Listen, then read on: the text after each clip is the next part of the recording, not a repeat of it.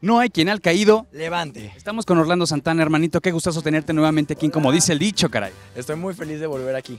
Oye, te tocó una historia fuerte, una historia pues difícil y además que tiene toda la realidad, porque creo que todos conocemos a alguien que sabemos que está haciendo las cosas mal y que no va por el buen camino y están tercos y ni siquiera te escuchan. Exacto, pero es que ellos traen como una mentalidad y un objetivo de, de hacer algo y como que el- su mente, su mente los, los ciega y, y empiezan a hacer las cosas mal, o sea, y, y la abuela, los papás, los amigos les decimos consejos y, y no los siguen. O hasta nosotros mismos, ¿no? Así, por ejemplo, que te enamoras de alguien y todos, no, no es la indicada, por favor, te pone el cuerno y tómala, dices, no, no, no, es el amor de mi vida. No, claro, es que a veces te dejas llevar por los sentimientos o por lo que está en tu cabeza y, y- y no miras más. O Más, más te pones eh, por la panza que por la cabeza, hermano. O sea, la neta. Como que se te revuelve el estómago y te dejas llevar.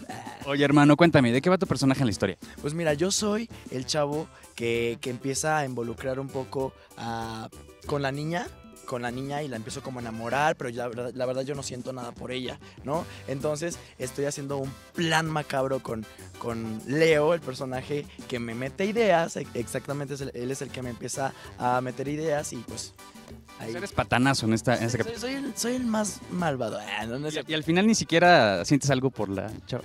O sea, la verdad es que no siento nada, todo es Guapa. falso. Sí, pero todo es falso porque la verdad nada más quiero pues el dinero, ¿no? Gandallazo, hermano. Oye, ¿qué debemos hacer? Una recomendación a toda la banda para convencer a una persona de que no va por el buen camino, de que no está haciendo las cosas bien. ¿Cómo lograrlo?